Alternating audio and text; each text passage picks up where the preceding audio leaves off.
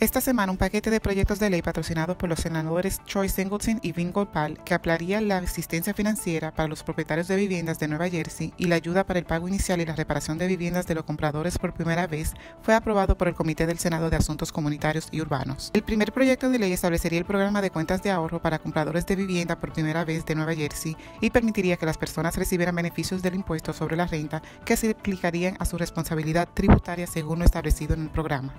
El segundo proyecto de ley establecería el programa del sueño americano de Nueva Jersey y destinaría 25 millones de dólares del Fondo General al programa de subsidio con el fin de proporcionar asistencia financiera a determinados hogares con ingresos bajos y moderados para que puedan ser propietarios de viviendas. La legislación patrocinada por el presidente del Senado, Steve Sweeney, que ampliaría las opciones de servicio de transporte disponible para los discapacitados, fue aprobada por el Comité de Salud del Senado. El proyecto de ley haría que el Departamento de Servicios Humanos autorizara a cualquier beneficiario de los beneficios por discapacidad, incluyendo el Seguro Social, a utilizar esos recursos para pagar por los servicios ofrecidos por una empresa de red de transporte, que utilice una red digital para proporcionar viajes preestablecidos, como Uber y Lyft. El senador Sweeney señaló que los servicios de transporte son necesidades críticas para las personas con discapacidad y que son necesarias para vivir su día a día. Esto les permitirá hacer uso de su servicio moderno como Uber y Lyft para que puedan llegar a donde necesiten de forma segura y conveniente.